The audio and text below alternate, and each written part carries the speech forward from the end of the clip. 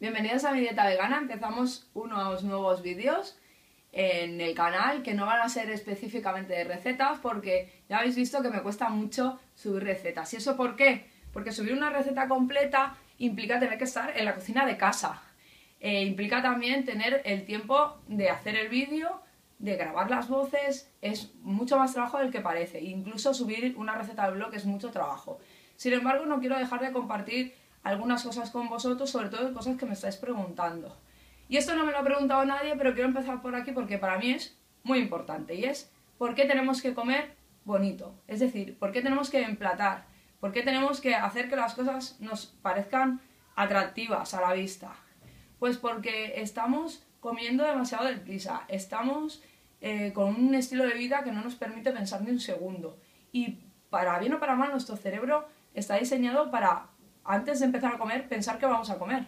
Y no lo estamos haciendo. Es decir, estamos empezando mm, la digestión sin que a veces nos estemos dando cuenta a nivel físico de que vamos a comer, mm, de que mm, tenemos hambre. Porque igual no tenemos hambre. Porque todos sabemos que a veces llegan las dos, hay que comer porque toca, por el trabajo. Y tenemos la comida preparada, pero nos levantamos del ordenador con la cabeza en el trabajo, del ordenador de donde sea, comemos y la primera idea que le viene al cerebro de que vamos a comer es que ya tenemos la comida en la boca. Pues mal. No, esto no funciona así. Entonces, ¿qué tenemos que hacer? Pues buscar una alternativa que nos sirva a nosotros. ¿Qué hago yo? Y que eso lo hago yo y a mí me sirve. Pues yo lo que hago desde hace un montón de tiempo, incluso antes de que existiera Instagram, es emplatar. Es decir, comer bonito, hacerlo bonito. Y eso es súper importante para mí porque yo como muy deprisa y emplatar también hace que luego coma más despacio. Ahora veréis por qué. Una de las partes importantes de, emplatar es saber qué vas a comer. Es decir, qué elementos tienes, qué tienes cocinado, qué no tienes. Porque muchas veces no estás en casa cocinando en el último momento, sino que tienes un montón de tuppers con cosas y lo que haces es pues elegir un primero y un segundo o un plato único bien balanceado. Eso es muy complicado eh, de hacer bonito puede parecer. Pues no, ya veis que en Instagram eh, todos los platos que saco son todos bastante majos, ¿no? Alguno de vez en cuando queda feo, ¿no? Que le vamos a hacer? Pero en general son bonitos. ¿Por qué? Pues porque es el rato que tengo yo para decirle a mi cuerpo que voy a comer. Y qué voy a comer también y cómo me apetece eh, comérmelo. Y también hacer que cosas que en principio a mí no me gustaban mucho, como puede ser el brócoli, o como pueden ser, bueno, otras cosas que no me gustaban mucho, de repente me parezcan apetecibles. ¿Por qué? Pues porque a mí el ver una cosa geométricamente bien proporcionada me gusta. Me gusta ver algo eh, estético.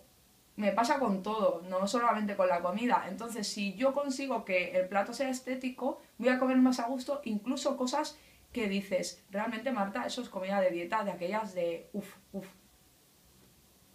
de lo que comes cada día. Y muchos me lo decís, es que siempre comes lo mismo. Bueno, es que las dietas a veces son un pelín monótonas, pero es que a veces a mí me gusta comer lo mismo. Es decir, yo si como aguacate por la mañana es porque me gusta. Y si como muchos purés también es porque me gusta. Y si tomo smoothies es porque me gustan.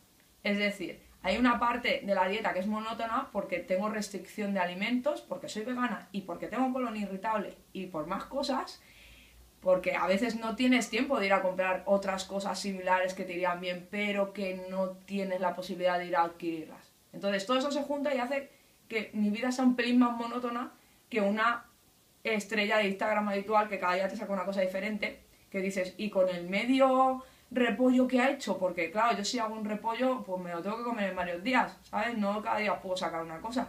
Y el aguacate, si me lo como cuatro veces, pues os tendré que sacar cuatro días aguacate, porque no lo voy a tirar. ¿Cómo lo hago para que, no a vosotros, sino a mí, eso que estoy comiendo cada día me parezca interesante? Porque claro, si cada día veo lo mismo, pues también me aburro. Pues hacerlo bonito. tener imaginación es un momento de creatividad, es un momento de pensar y sobre todo es un momento de comer conscientemente. Es decir, yo sé que estoy comiendo, yo sé si lo que estoy comiendo me va a sentar bien, también sé muchas veces que lo que estoy comiendo me va a sentar mal, pero me lo como sin culpa. Igual que si me como algo que es un dulce, que tiene azúcar, que sé que a mí me sienta mal, y que además está fuera de la dieta, me lo como saboreándolo y sin culpa. Y tengo ese momento para mí en el cual disfruto antes de comer de la pinta que tiene, tranquilamente, sin ninguna obsesión, incluso sin la necesidad de hacerle la foto. Y eso mis compañeros de trabajo lo saben, que yo tardo muchísimo más en emplatar que en hacer la foto. La foto tarda unos segundos.